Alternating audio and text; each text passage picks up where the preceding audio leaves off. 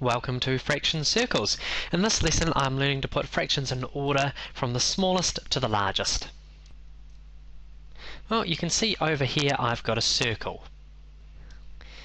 And you know that if I put a line straight down through the middle, I'm going to split that shape so that it is in, so it's been cut in half. And what I can do is I can pull that down there and next to it we can say that that is equal to a half. Now over here I've got another circle. So let's let's cut this shape in half as well. But this time let's cut each of these halves in half again. So it's going to look something like that. So you can see that I've now split this shape into quarters now just like last time I'm going to pull some of these pieces down. I'm going to pull down both of these quarters.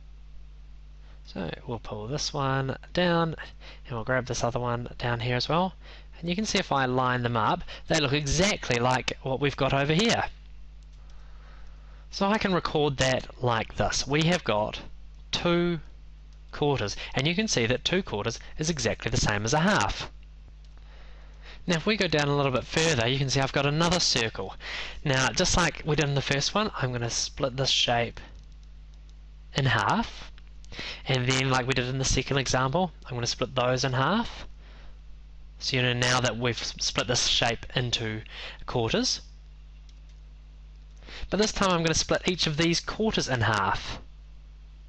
So I can do a line down through here and a line down through there. So just like we've done in some of the other well the other examples, I'm going to pull some of these pieces across.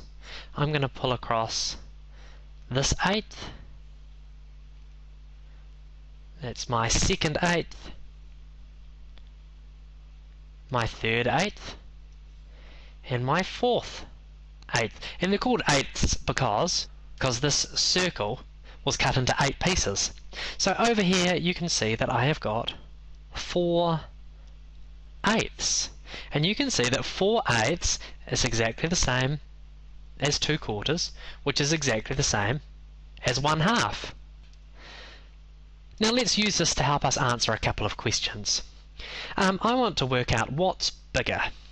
Is two quarters bigger or is three eighths bigger.